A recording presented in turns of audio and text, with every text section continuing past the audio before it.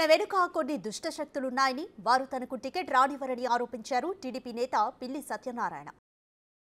Kakinada rural స్థానాన్ని జనసేనకు కేటాయిస్తున్నట్లు తమకు సమాచారం ఉందన్నారు.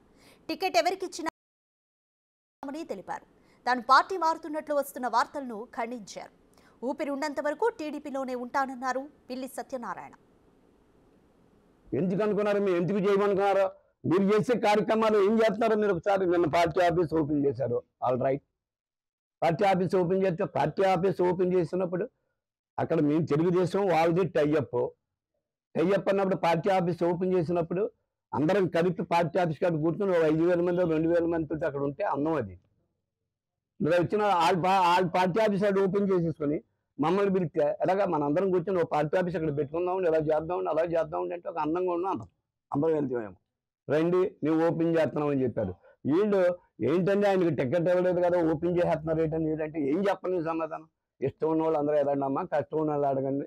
నేను నాకు చెప్పారు ఆయన నేను టికెట్ అనౌన్స్ చేసిన తర్వాత ఫస్ట్ బుక్ పెట్టుకుని మా కార్యకర్తను తీసుకుని మీ దగ్గరికి వస్తానండి. మిమ్మల్ని అప్రిషియేట్ చేస్తాను. నాకన్నా ముందు మీకు తెలిస్తే నాకు టికెట్ వచ్చిందండి నాకు మద్దతు ఇవ్వండి అని మీరు అంతే తప్ప ముందు మన ఇద్దరం కూర్చున్నాం అంటే మన మనస్పర్ధలకు దారిస్తుందని చెప్పి చెప్పాను నేను సత్య తెలుగుదేశం పార్టీ అది కూడా బతుకున్నంత కాలం తెలుగుదేశం పార్టీ జెండా మొయ్యాలన్నది సిద్ధాంతం.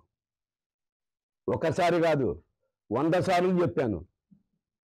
చెప్పిన వైఎస్ఆర్ పార్టీకి పోతాడు అందులో జాయిన్ అయిపోతాడు సాక్షి మీడియా వాళ్ళతో కాంట్రాక్ట్ పెట్టుకున్నాడు సాక్షి మీడియా వాళ్ళతో మాట్లాడుతున్నాడు ఇవన్నీ ఎందుకండి మీకు? మీరేం తప్పు చేశామని అడుగుతున్నాను సమాజంలో మమ్మల్ని. ఈ విధంగా నిందించడానికి